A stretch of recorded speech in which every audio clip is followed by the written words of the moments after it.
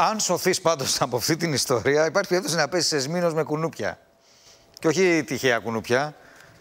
Τάιγκερ. Τίγρης. Τίγρης. Μάλιστα, λοιπόν, αυτό είναι ένα τεράστιο θέμα, διότι τώρα έχει τον καύσωνα, έχουμε το air condition, αλλά δεν μπορεί να το έχεις 24 ώρες το 24 ώρο το air condition.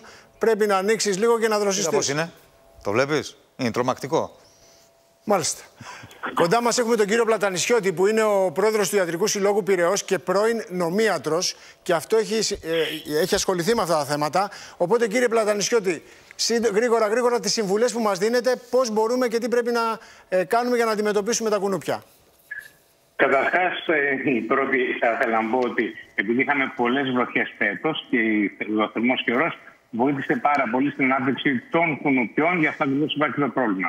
Το πρώτο μέτρο προστασία λοιπόν που μπορούμε να κάνουμε είναι να βάλουμε σπίτε στα παράθυρά μας. Έχουμε και τη σχετική κάρτα να δείξουμε, βεβαίως. Μισό λεπτό. Προχωρήστε, συγγνώμη. Ναι, να βάζουμε σπίτε στα παράθυρα και στις μπαλκονόπορτες. Οπότε όταν ανοίγουμε το πόρτε και τα παράθυρα στο σπίτι για να αεριστούν, τότε θα μπορούμε τις σπίτι να τα κρατήσουμε έξω.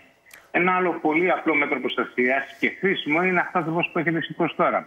Οι νοικοκυρές συνήθως ποτίζουν τις γλάστρε τους το βράδυ. Αυτό λοιπόν έχει ένα αποτέλεσμα όμως τα πιατάκια κάτω από τις γλάστρε να μαζεύουν νερό και εκεί είναι ένα μέρος στο οποίο πάνε τα κουνούπια Σωστά, και γεννάνε ναι. τα αυγά του. Οπότε πλέον έχουμε μια απικία κουνουπιών στη βεράντα μας. Άρα ποτίζουμε το πρωί. Να ποτίζουν το πρωί, ώστε το βράδυ είναι στιγνά και να μην έχουν ένα μέρος για να αποθέσουν τα αυγά τους στα κουνούπια. Δεν βρέχουμε τα μπαλκόνια το βράδυ, χρησιμοποιούμε εντομοαποθητικά.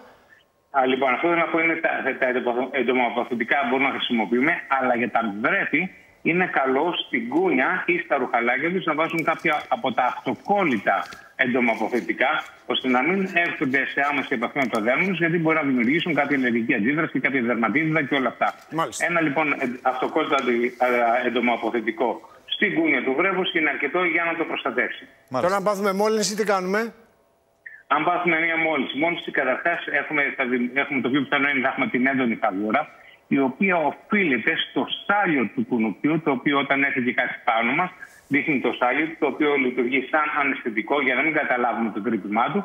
Και ακριβώς αυτή η ουσία είναι που μας δημιουργεί μια αλλεργική αντίδραση. Σε περίπτωση όμως που έχουμε μία επιμόλυνση, τότε δηλαδή κοκκινήσει το δέρμα, αρχίζει να καίει κάποια υπηρετική κίνηση, τότε οπωσδήποτε δερματολόγο, μήπως έχουμε κάποια επιμόλυνση από κάποιο μικρόβιο. Μάλιστα. Σας ευχαριστούμε θερμά για τη βοήθειά σας. Πολύ ενδιαφέροντα και πολύ χρήσιμα γιατί αφορούν την υγεία μας. Νίκος Καλή συνέχεια. Λοιπόν,